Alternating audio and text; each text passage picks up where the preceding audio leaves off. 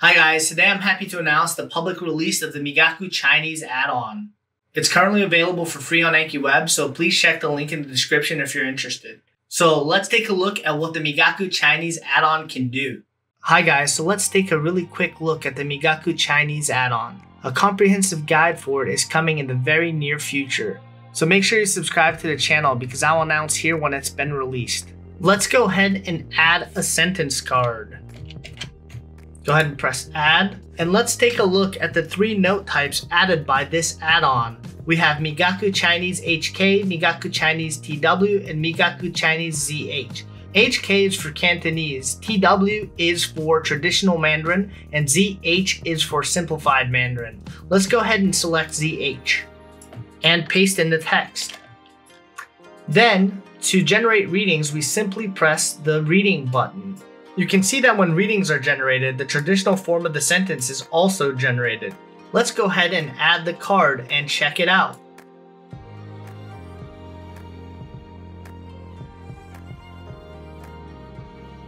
Okay, previewing the card, we can see that on the front, it looks like any regular sentence. But on the back, we can see that readings have been added to each character. If there is a mistake, correcting it is as simple as changing the number of the tone. We can see that changes are instantly reflected. Okay guys, let's take a look at the traditional Chinese support. To add a card for the traditional Chinese note type, go ahead and select the TW note type. And then let's go ahead and paste in some traditional Chinese.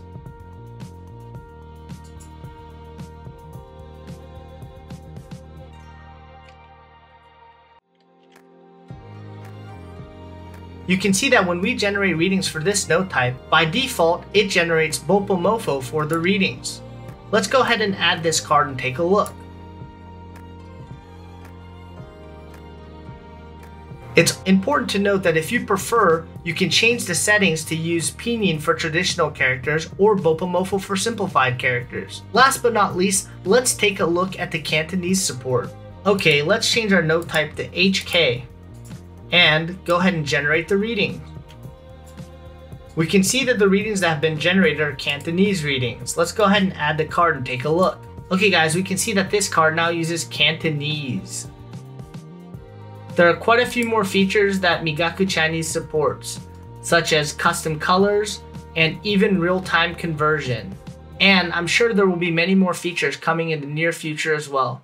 Okay, so again guys, if you're interested, please check the link in the description below. And actually, in tandem with the release of the Migaku Chinese add-on, I'm also happy to be releasing German deconjugation functionality for the Migaku Dictionary add-on. Okay, simply go to Tools, Add-ons, then go to to Migaku Dictionary, go to View Files. Once you're in View Files, go to User Files, go to Dictionaries, find your German folder or whatever you've named it, and go ahead and place the conjugations uh, file into that folder. Then go ahead and you can close this window or minimize it, do whatever you want with it, and then go ahead and restart Anki.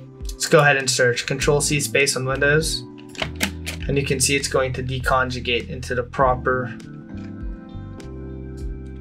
dictionary form of the word.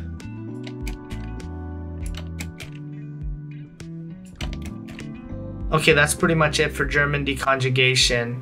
I'm going to be adding deconjugation functionality until I've covered all major languages. You can find a necessary file to enable German deconjugation in the Migaku Dictionary add-on in the description below. And in tandem with both of these releases, I would like to also announce that a major update for the Immerse with Migaku browser extension is now live on Patreon. The new update works in tandem with the Migaku Dictionary Plus add-on and fixes some major bugs that we were seeing, as well as adds new functionality, such as always stay on top mode for Migaku Dictionary Plus. I'm really excited about it, and if you like, you can check it out now on the Migaku Patreon account.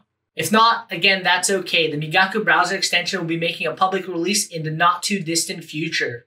If you're interested in joining the Migaku community on Reddit or have an issue you need help with, please consider joining the Immerse with Migaku subreddit or getting help on the official Migaku support subreddit. Like and comment this video for your chance to become a visiting VIP. At the end of every month, I will choose people from the comment sections of my videos to become visiting VIPs. Visiting VIPs will get all the same perks as the dev team tier on Patreon. So if you're interested in taking a behind the scenes look at the Migaku Discord community or getting free access to Migaku software projects, please leave a like and a comment below. And last but not least, I would like to thank everyone on Patreon for their support. And that, of course, also includes the $1 leech tier. Thank you so much, leeches. And thanks everyone else for watching. I hope you find these releases useful.